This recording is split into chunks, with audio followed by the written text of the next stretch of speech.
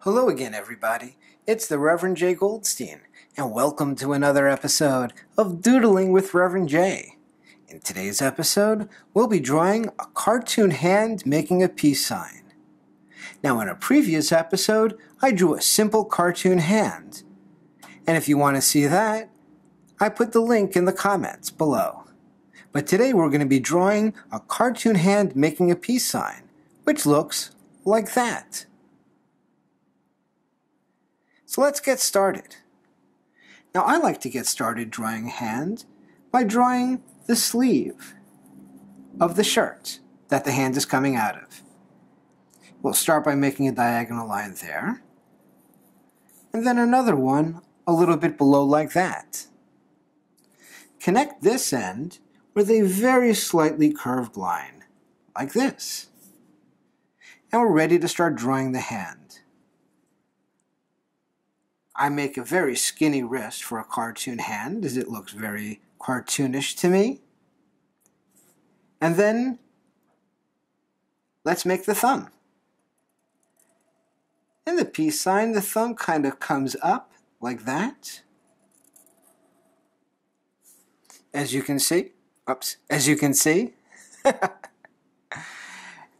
and then it makes the hand makes a V with these two fingers, the index and the middle finger. That's right, V for peace.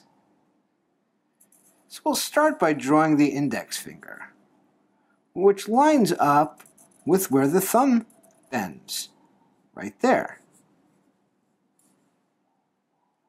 Then make the middle finger, which is just a little bit longer than the index finger, like that.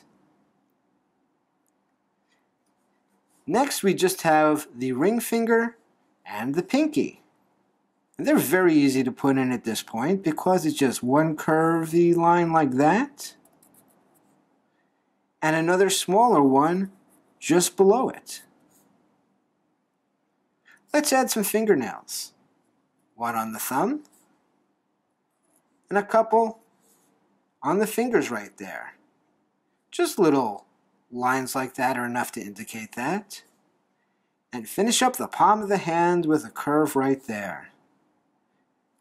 We can finish the sleeve now, if you haven't already, by making this curve at the back of the hand, then coloring in the inside of the shirt. Why not give some depth by putting some shading on this?